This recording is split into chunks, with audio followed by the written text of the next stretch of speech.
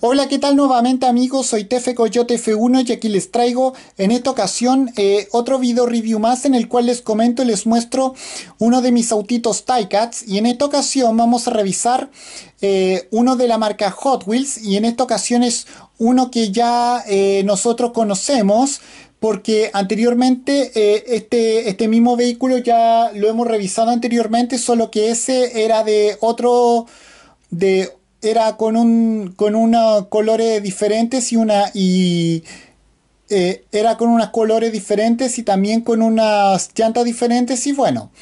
Eh, de hecho este lo compré en la juguetería regalo especial acá en Santiago de Chile.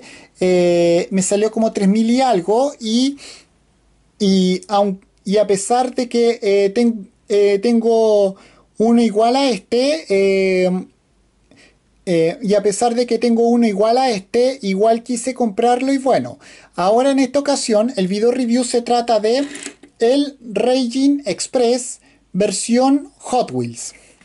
Bueno, acá pueden ver este camión. Bueno, como yo ya le dije, este camión se llama Raging Express. Eh, como todos sabemos, y bueno, como, como sabemos, es un Hot Wheels ficticio. Eh, es un modelo ficticio de Hot Wheels inspirado precisamente en los de Kotora. Y recordemos que los de Kotora, eh, con ese nombre se le conocen a los camiones japoneses modificados, como yo ya les reseñé anteriormente, donde también revisé otro Regine Express, como yo ya les dije, eh, que, tenía uno, que, que tiene una decoración diferente. Y bueno, bueno, acá pueden verlo, bueno, podemos ver que este es eh, de color cromado plateado y bueno, podemos ver entre sus detalles, bueno, podemos ver que eh, precisamente tiene simulados sus eh, retrovisores, podemos ver que tiene una defensa o para golpes o para choques, como quieran decirle, bastante extravagante. Podemos ver que están simulados también sus faros.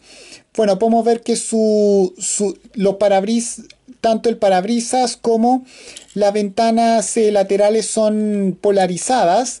Bueno, podemos ver que aquí tiene unas luces auxiliares aquí en lo que es la parte delantera del techo. Y bueno, bueno, también tiene detalles en color azul y bueno, podemos ver que sus llantas son en cromado plateado. Como ustedes pueden apreciar y podemos ver que en los laterales de la caja tiene, bueno, tiene precisamente ahí una, una sílaba japonesa y podemos ver que también tiene un dragón. Eh, podemos ver que tiene un dragón con, con, detalles en color azul, blanco y plateado. Y podemos ver que eh, está aplicado el logo de Hot Wheels en color azul como ustedes pueden apreciar. Y bueno, bueno, y acá podemos ver, bueno, que está simulada aquí, están simuladas también su defensa, sus eh, luces posteriores, su luces de freno. Aquí otras luces traseras posteriores y y la puerta eh, de acceso a, la zona de carga. Y bueno, y acá podemos ver que tiene unos detalles eh, también que no, no sé qué serán. Y podemos, que tienen forma de H. Y podemos ver aquí que tiene el, eh, este logo que en realidad nos... sí, es de Ryu Asada, que es el, uno de los diseñadores de la marca Hot Wheels. Y bueno, y acá podemos ver en este otro costado, bueno, los mismos detalles. Muy, muy bonito este, este camión.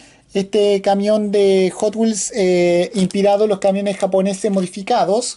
Que como yo ya dije se llaman de Kotora. Y bueno, bueno, las, bueno, las ruedas de mi camión, eh, bueno, se deslizan perfectamente solamente que eh, solamente que como que se está rozando eh, los faldones y, eh, y los paragolpes eh, el, la superficie, bueno, pero no importa.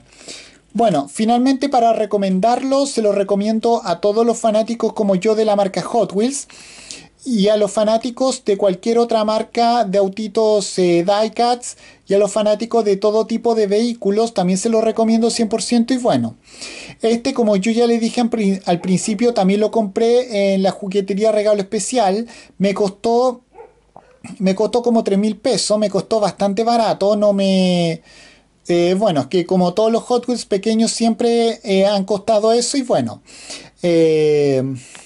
Y bueno, y con esto finalmente doy por finalizado este video review. Recuerden por favor cuando vean este video comentar, suscribirse a mi canal TF Coyote F1, dar su me gusta, activar las notificaciones y compartirlo como todos mis propios video reviews. Y con esto cierro este video. Adiós, que me fuera, chao.